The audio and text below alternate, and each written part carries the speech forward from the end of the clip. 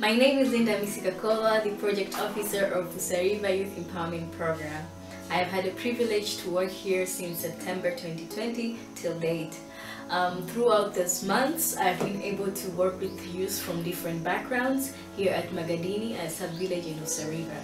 And here, our program aims to provide vocational skills training. We have started with tailoring techniques, and we also plan to provide entrepreneurship space for these youth so that they can improve their life standards and also increase their income. Here they learn how to sew, they learn how to do embroidery and also they learn how to knit. And so far we have been able to see immense achievements through these youth. Um, there some of them started without knowing how to sew or how to do embroidery or even to run a machine. But from September till date, they have seen great improvement, and I I hope you're going to meet these youth and see what they're doing and their achievements. Thank you.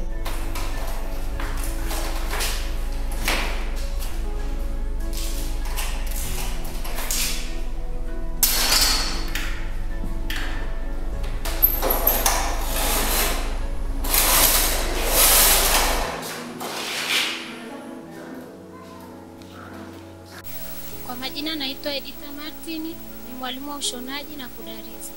Nimeanza kazi hapa kwenye mradi wa Youth Empowerment Program mnamo mwezi wa tisa elfu mbili na ishirini. Nafarijika sana kuwafundisha vijana wenzangu, maana hata walipoanza walikuwa hawajui kushona na sasa hivi wanajua kushona wote. Nawakaribisha wote kwenye mradi huu wa Youth Empowerment Program. Nawakaribisha vijana wote, asanteni.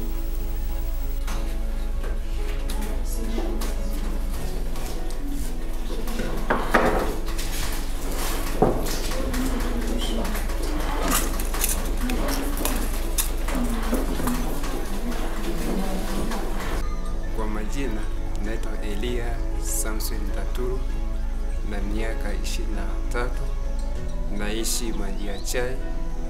Nilianza kujifunza mwaka jana mwezi wa mwezi wa kumi mpaka sasa eh, mwezi wa tano. Aa, hii ni moja ya muhimu ambayo nimeiona kwangu, imenisaidia sana na kitu nimekielewa, nimejifunza kushona. Kwa mfano, nimejua kushona mashati, shati, suruali pamoja na kushona mabegi. Nikishamaliza baada ya hapo, nitafungua nitafungua ofisi pamoja na kuwasiliana kusaidiana na wengine.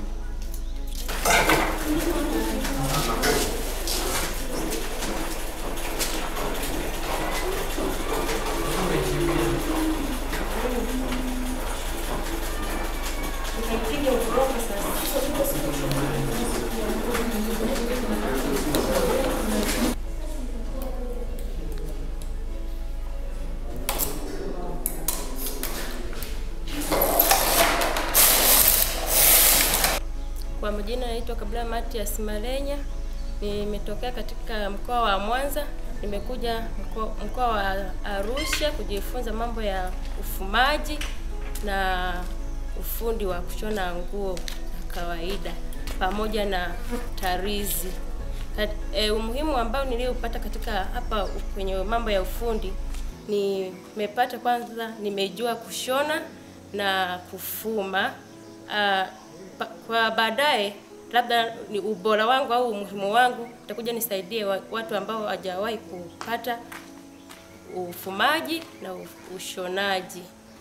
Na pia katika mambo, katika hapa chuo tumepata mambo mengi. Kwanza tunafundishwa English course pamoja na nani afya ya uzazi, na kwa baadaye sisi tutakuwa wazazi na tumepata elimu bora katika hichi chuo, na kwa baadaye kwa kama kwa mfano kama mimi nimeshamaliza kujifunza mambo ya ufumaji, nitaendekeza nitakapoenda kufuma labda masweta, visuti vya watoto, m, kofia wakati wa baridi, masweta ya watoto wa shule, nitatafuta masoko mashuleni hata kwenye maduka makubwa.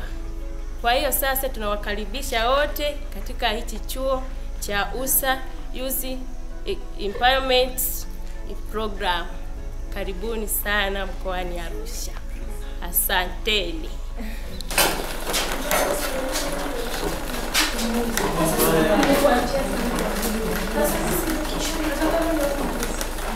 Kwa jina naitwa Glory Lema, nimetokea mkoa wa Arusha, kata ya Usariva, naishi kitongoji cha Lake Tatu.